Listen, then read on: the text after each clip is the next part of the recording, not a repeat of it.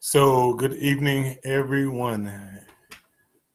This is John, John Rollins, and today, of course, is Wednesday, uh, and it's 7 p.m. So that means that it's time for our weekly Strive sessions. Strive strategies to remain informed, strategies to remain victorious, strategies to remain empowered. Okay. And as we've said on many occasions, our goal on these sessions is to provide some type of information that will be uplifting to those of us who are in the body of Christ. We want to keep you encouraged. We want to let you know that there's a reason to go on. We want to give you some information that may be just what you need to deal with what you're going through right now. Okay. And uh, we've been sharing so many different topics over the last several weeks. Actually, we've been doing this for a few months now and uh, we'll continue to do it until we're directed otherwise. But this is an assignment that was given to me by my pastors, Pastor Horace L. Mingo, the senior pastor of Jesus People Life Changing Church. And uh, he said, let's just do something that will try to uplift those of us who are in the body of Christ to give us a reason to want to keep trying. Uh, you may uh, check in on tomorrow, at, normally at 7.30. Pastor Mingo is on, and he's actually giving some words of life. He's doing some lessons uh, that are spirit related and so uh, I encourage you, if, if you find something that you like between what we're doing, let us know, share the uh, conversation, leave a comment. Just let us know that we're doing something that's helping to make a difference for you. That is our goal. Okay. And our topic for today, our topic for today is a good fit. A good fit. How many of you have ever seen something advertised as a one size fits all? And how many of you know that it is highly unlikely, based on the people who are in your circle, that you're going to find a situation where one size fits all?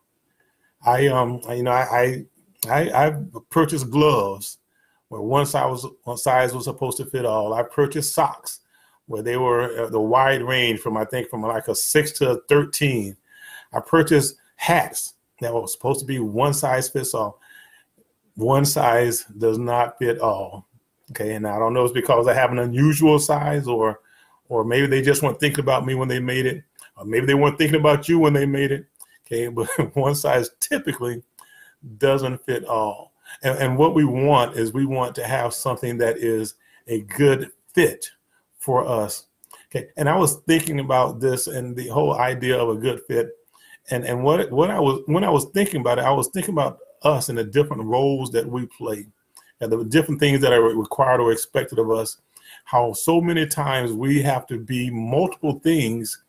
Uh, just one of us, but as you heard the old phrase, we have to wear multiple hats. Uh, for instance, you may be a parent, okay, but you also you may be a, a business owner, you may be a supervisor, an employee, a member of the team, you may be a student. There's so many things that are required of us. And how do we make sure that given the expectations that are placed on us, the requirements, the things that are required of us, how do we make sure that we are able to fit properly in those different uh, roles or, or, the different responsibilities? Uh, um, and you you probably have heard the phrase before. You want to be kind of a a glove in a hand. You want the, the glove to work with the hand. They both need each other. Without the glove, the hand is cold or hand could get damaged. But without the hand, the glove is just sitting there, not fulfilling a purpose.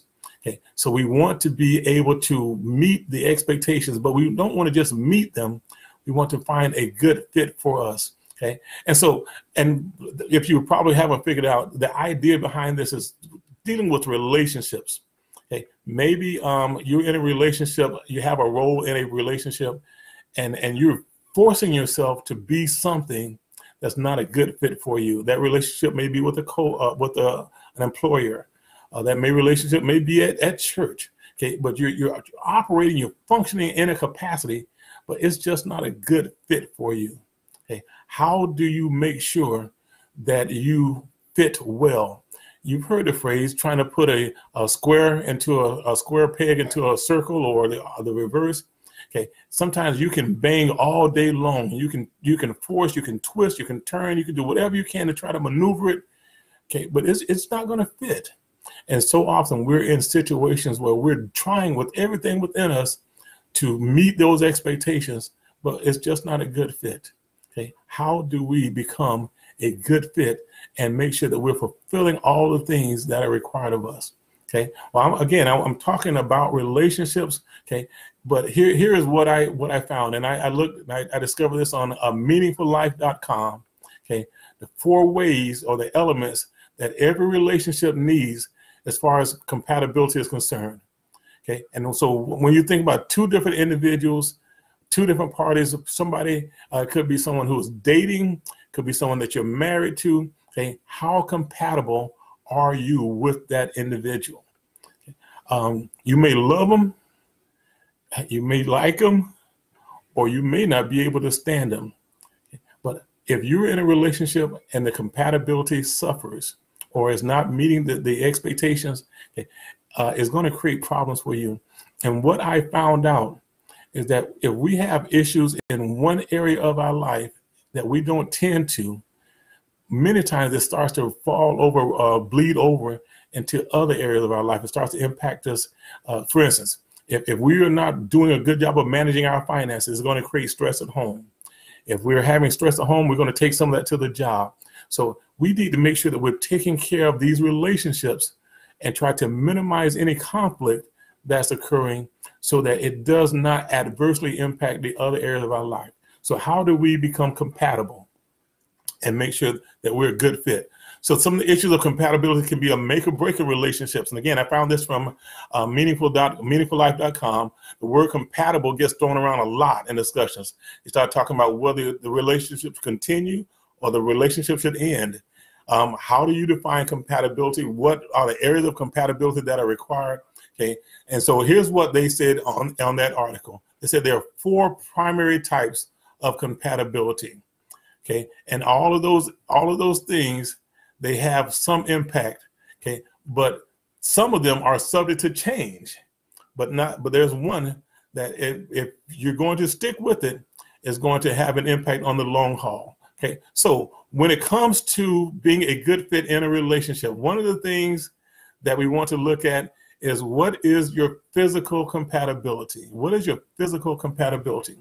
Okay, and and I, you know, when you start talking about physical traits, physical characteristics, I know that that sounds kind of superficial because uh, most of us, who we are on the outside, has very little to do with who we are. Okay, our physical makeup does not define who we are. I tell people that you, if you have traits that you're proud of, you should thank your parents. You should thank your grandparents because it was their combination that provided you with the physical traits that you have. Okay, so I know we start talking about physical traits, that could sound kind of superficial. Okay, but there should be some type of compatibility between you and the person that you're in a relationship with. Um, that, that find something about that person that you appreciate. Okay, and, and typically, again, it, it, we're talking about physical physical compatibility. You've heard the phrase "beauty is in the eye of the beholder." You may look at a person in a relationship and say, "You know, I just I I can't see those two people together," but they found something between the two of them that they appreciate about each other. That physical com- compatibility. Okay, and if you're going to be a good fit for that person or a good fit for that relationship, there should be one of the areas of compatibility that you give attention to. But be careful.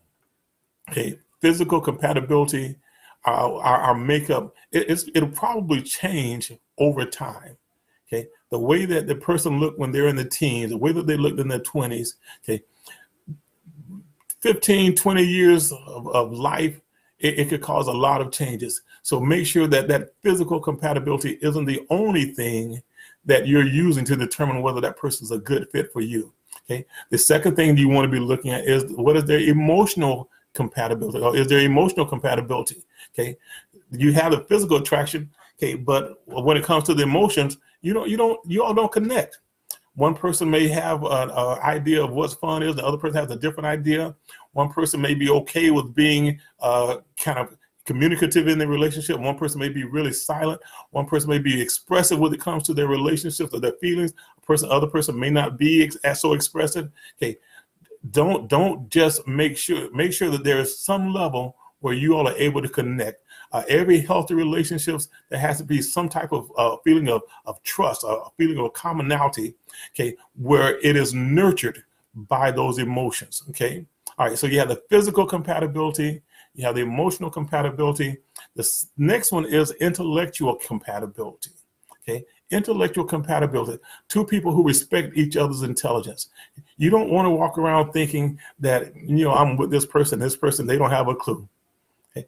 It, that, that is going to show itself in some way, and the other person is going to be able to figure it out okay some type of emotional uh, compatibility where you all are able to stimulate each other you, you share ideas with each other you share interests of, of some things together and, and that those interests could be it could be that you like eating in the same restaurant you like taking trips together you like talking about the weather you like watching sports you like watching crime shows make sure there's something that you all have in common where there's an appreciation for the other person's intellectual level Okay. And, and I'm telling you, these are the things of compatibility that will help to make people a good fit. And, and I'm not saying that it has to be every area that has to be covered. Okay. But I, I do think that we want to give attention to these areas when it comes to our compatibility.